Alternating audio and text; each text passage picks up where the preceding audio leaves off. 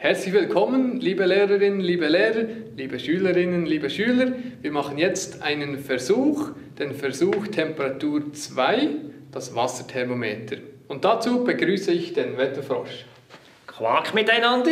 Wir haben hier einige Materialien. Das sind alles Materialien, die man in der Wettbox finden kann. Diesen Erlenmein-Kolben, ein Glasrohr mit einem Pfropfen und auch noch Lebensmittelfarbe. Die Lebensmittelfarbe brauchen wir, damit man das Wasser ein bisschen besser sieht.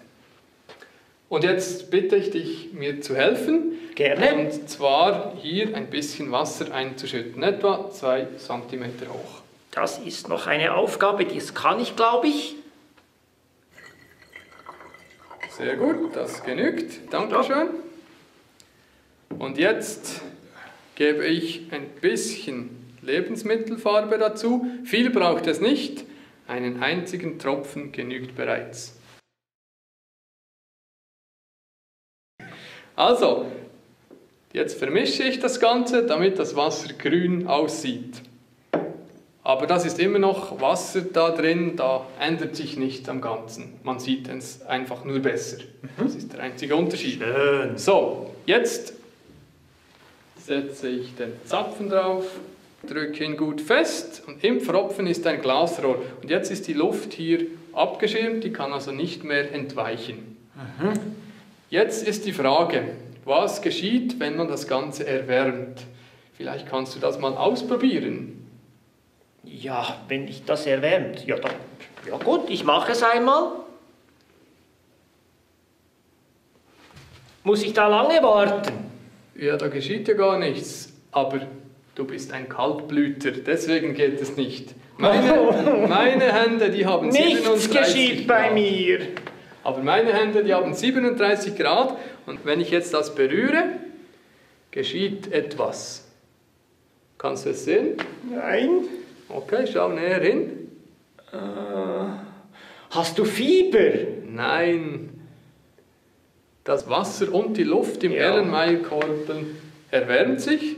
Wenn sich etwas erwärmt, dehnt es sich aus Ja. und deswegen wird das Wasser in Ja. die Höhe gedrückt. Ich sehe es. Ja. Was wir jetzt aber nicht wissen, ist, ob sich das Wasser oder die Luft da drin stärker erwärmt oder nicht. Oder stärker ausdehnt. Das können wir jetzt leider nicht sagen.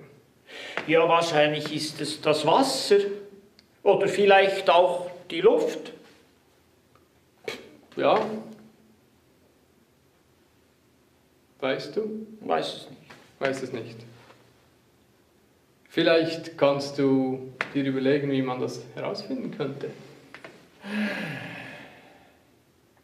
Also zum Beispiel könnten wir jetzt diesen Behälter da einfach auffüllen mit Wasser.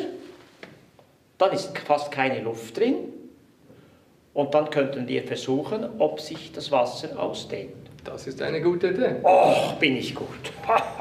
Ich nehme den Pfropfen weg und du kannst ein bisschen Wasser nachschütten. Ja, mache ich gerne.